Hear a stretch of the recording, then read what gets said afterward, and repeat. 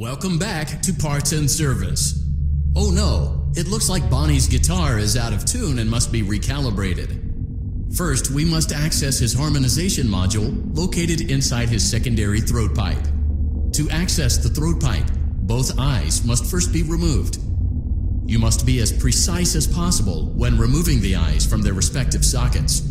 First, firmly grip Bonnie's left eye and carefully remove it from its socket. Great job. Deposit the left eye in the cleaning receptacle on your left. Well done.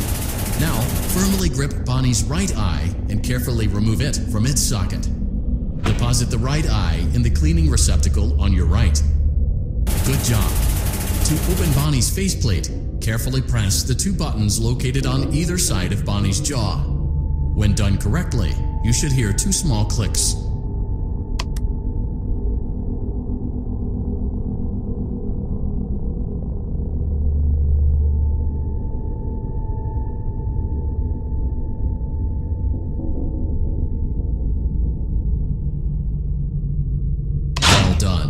You now have access to Bonnie's harmonization module. Press the blinking button inside Bonnie's secondary throat pipe to enter calibration mode.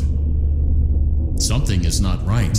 One of those notes is out of tune. You may push the button again to replay the audio check.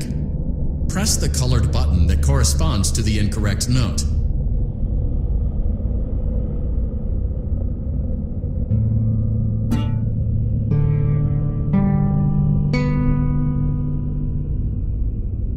Press the blinking button again to verify your work.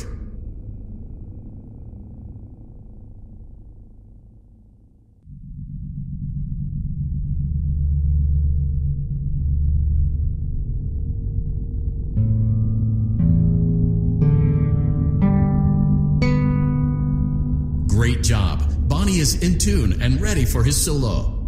Let's close him up. Simply replace both eyes in the same order that you removed them then close up the faceplate and we'll call it a day.